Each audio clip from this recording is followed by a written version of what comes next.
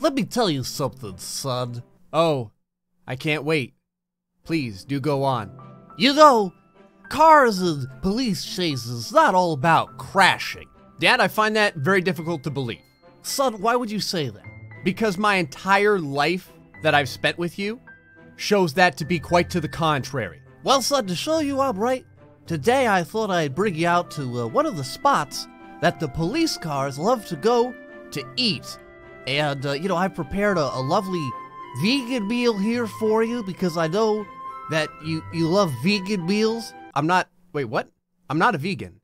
No, no, all, all kids your age are vegan. No, we're not. Where the hell did you get this from? Anyway, son, look down the road over there. There's a would-be scumbag being chased by the police. But don't worry, they won't be crashing into him. At all. Oh, Gray, please no. Anything but that. I have a family. Well, I had a family, but they were in the last BeamNG episode, so, yeah.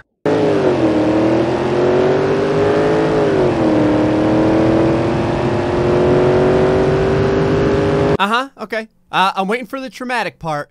Now, if you look over to your left, Ah, there it is. you're gonna see the area where the police cars go to eat.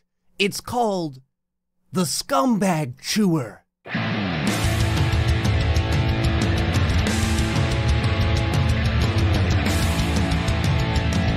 Dad, what even is what even is that? Doesn't make any sense. Oh my god!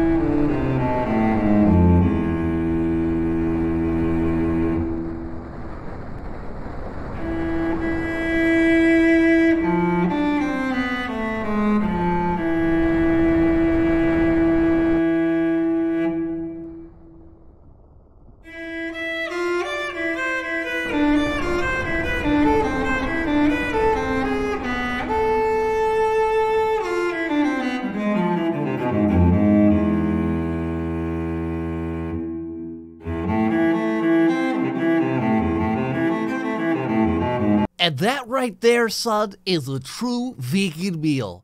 Dad, I hope you know every kid in the world hates you. Yeah, Lower Big Grace Place, we're back with more Beam NG Drive. Out here on the gigantic bridge, it's perfect to test out a little creation I've made called the Car Chewer, or Scumbag Chewer if you listen to uh, Stig Stigler over there. It's, uh, it's a double whammy. What it is is a giant minefield filled with uh, speed bumps.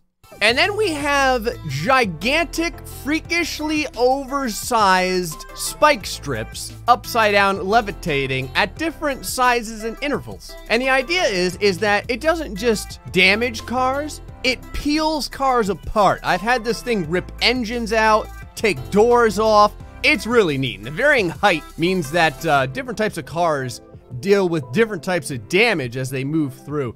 It's it's pretty slick. This map is fantastic for it because all the police cars, instead of trying to like fight for a middle lane, stay in their lane. So you get a gigantic procession of pain. Let me let me show you what it looks like. Right over here, we have Horatio Phallus Lord.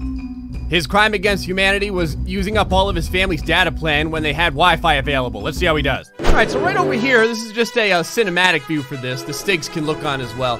Now, it depends. Right at this very first sad death destruction area, sometimes you lose some cars. And by cars and lose, I mean like one got completely obliterated. You can see all the police cars appear to be doing quite well. Never mind, all three of them just... well, remember how I said it peels parts apart? There goes an exhaust. There goes an exhaust. It's like a gigantic DDT backbreaker, super slammy, I don't even know what. One guy is still stuck in there, I don't know how. But the other two, they had forward momentum, and yet they were thrown backward somehow. It seems like every time cars crash into this thing that I've made, they crash differently. Wow, that's pretty bad. Um, the other thing I can say about this is that effectively every single dummy that's involved in this will die. I don't think anyone can survive this minefield. This thing does more damage than any, than any fixed objects I've ever put together. Welcome to the worst place on earth. It's a police dash cam in one of Gray's Beam NG videos. Now, all these vehicles have the 6.2 liter Hemi engines in them. So they're all. it just detonated. I don't even know if we're gonna make it through. Oh, we did, we made it through. Okay, there we go. See, now we got a vehicle run. Now we got a vehicle in the running. Right over here, this guy. I don't know how he managed it. Top part of the vehicle is still on somehow. Never mind. And there goes the bumper. There goes all the doors. And the exhaust as well. Everything gets absolutely peeled apart. And these vehicles deal with the speed bumps really well. So they don't even have they don't even have that much damage that comes from the suspension or anything like that. Oh, the the uh, the motor got completely ripped out of the, uh, engine bay area. That's unique. Let's put some rockets on these things and see what happens. Now, unfortunately, the only one who's allowed to have rockets is the suspect car because the uh, the other vehicles that I have aren't allowed to place right now. You can see how fast the rockets are. It has completely blown past the police. Can it get through? Oh no! What sort of Gumby-like possession has taken place over here? This is this is going past the summoning or uh, sinister. All those movies where where the dark lords of the abyss are coming for us. Look at how far the parts went. Let's uh well the police are finally catching up over here. It's gonna be a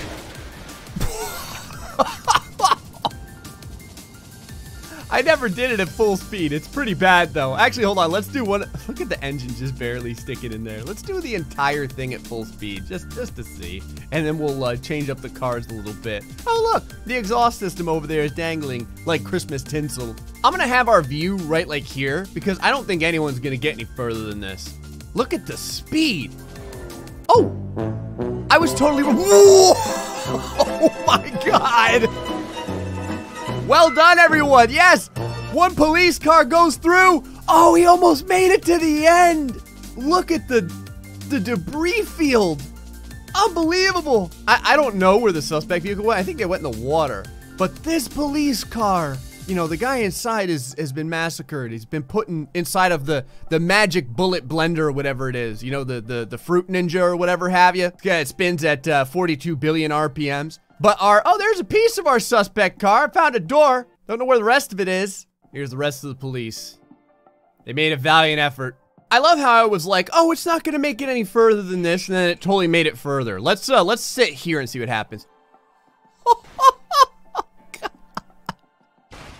All right, come on, police cars. Make me proud, baby, yes! Oh, he's gonna make it. He's gonna, I think he's flat enough to make it. Yes! Are we gonna call this a win? I am gonna go ahead and say if they make it past my speed bumps, they win. So he won, but then he immediately was slain, so he kind of lost. You know, I think what we need is some go fast cars. So we've got all kinds over here. I've got three different police cars stacked up in the back. Right over here, we have Benny Ballbag. He's wanted for giving his homeroom teacher a concussion with a hacky sack. Let's go. Now these cars go pretty fast, but they're pretty low to the ground. So I'm kind of curious what happens. If, if anything, the speed bumps should really do a number on these cars. And the, uh, the chewer should have less of a less of an impact. Now you can see right there, okay, never mind. I was gonna say barely any damage. Uh, that right there is an entire engine flying through the sky. It's like a frisbee. The engine is just soaring right now through the entirety of the map. I'm gonna let him go. Ben Benjamin's doing quite well. Now over here, the other two vehicles, we can see if they can get past. Yes, only a light bar falls prey to the sadness that is the car chewer. These other two police vehicles doing quite well. Our suspect appears to still be going forward, so that's plus one for him. It all matters. J exactly how they hit the speed bumps. Let's go ahead and speed up just a little bit more here so that we can continue to follow. Our, our suspect is definitely making it all the way to the end. At least it looks like it. And the police, all right, one police car just got savaged, but there's at least one more to go. And the suspect appears to make it all the way through. The final police car loses its, oh, he got slaughtered, he got slashed right at the end there, but he still made it. The final police car appears to make it as well, and I think we're gonna have a twofer over here. That is gonna be two vehicles that made it all the way through. Let's see if that final chunk over there does anything. It does not. This is the first time that we have that we have had two vehicles made it make it all the way through and very little damage to this police vehicle. The other two police vehicles, uh, yeah.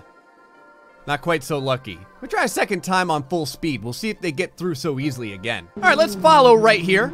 Should be perfect for us. It's gonna be full speed, so we'll see, uh, we'll see if anything horrifying, yep, something horrifying just happened. All right, the other two, oh, okay. One of the other vehicles got destructicated as well. This one over here, though, doing well.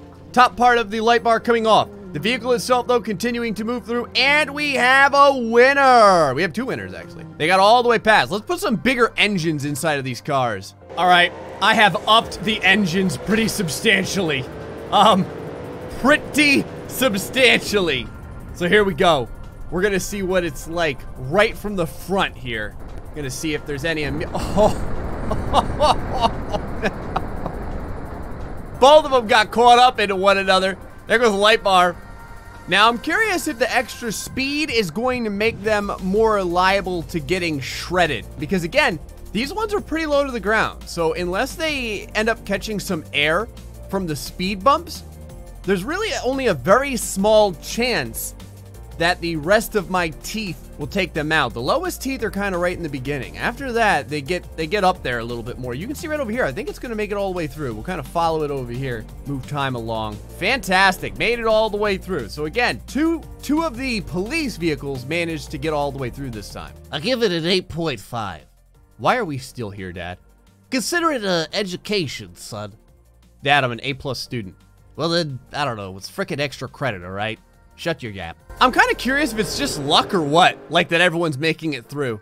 So we're gonna do a quick, uh... Well. There's one individual who wasn't lucky today. Oh my god, what happened to this car? How's everyone else doing? Pretty bad?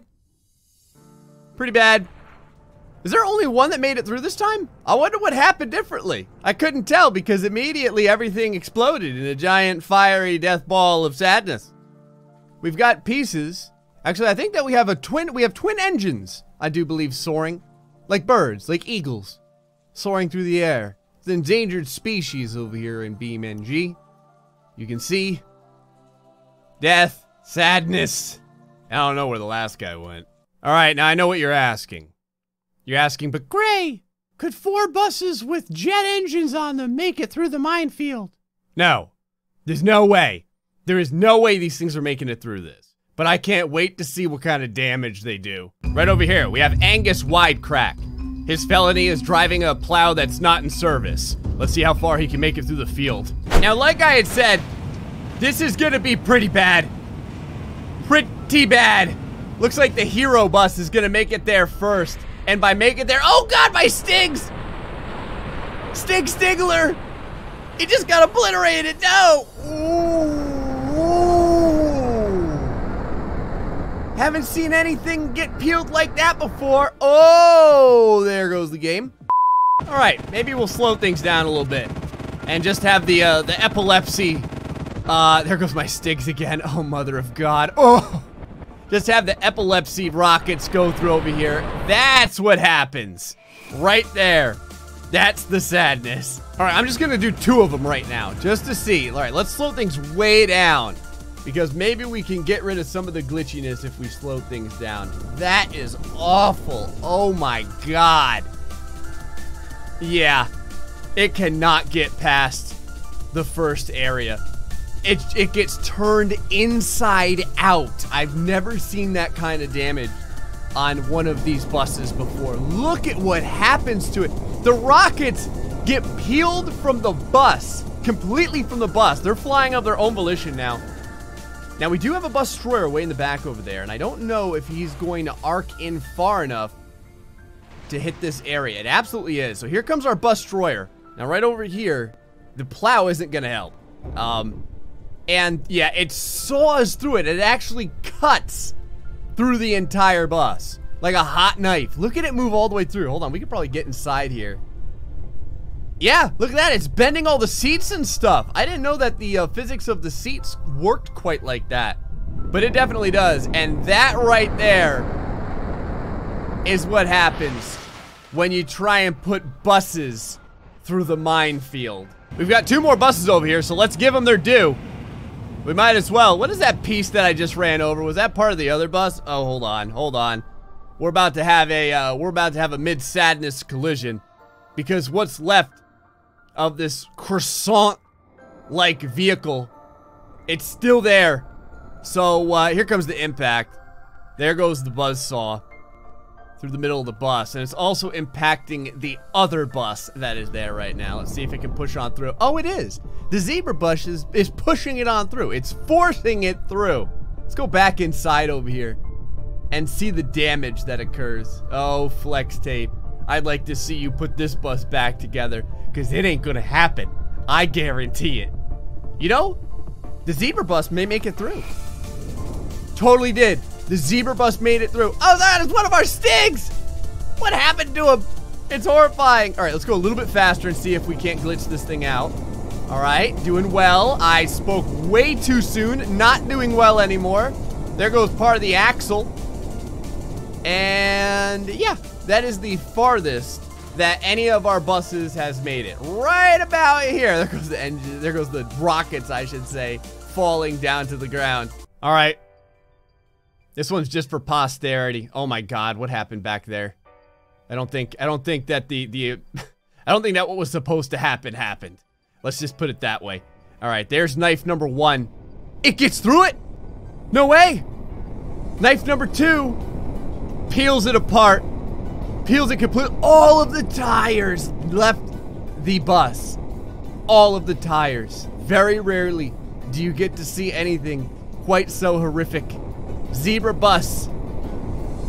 Is it going to keep any of its tires? The answer is yes. It is going to keep some of its tires. Now, the other buses, uh, going kind of weird over here, going kind of wonky off on the side. So, I don't know if they're going to hit any of my, uh, any of my spike strip chewers over here. Let's go ahead and move things along. Uh, that's a negatory. I really want to see if we can get all four buses through the chewer. So here goes bus number one. All right, looking good. Fabulous. Everything I ever wanted. Perfect. Let's, uh, oh, you know what? Hold on, I wonder. So this is what it's like as a passenger inside of the bus destroyer. We'll kind of watch it as we move along here. And this is what you would see coming through the bus. Oh, we're not even, we're not even right side up anymore. I was gonna say, the thing got curled in on itself like a worm. Pretty bad. There goes the plow.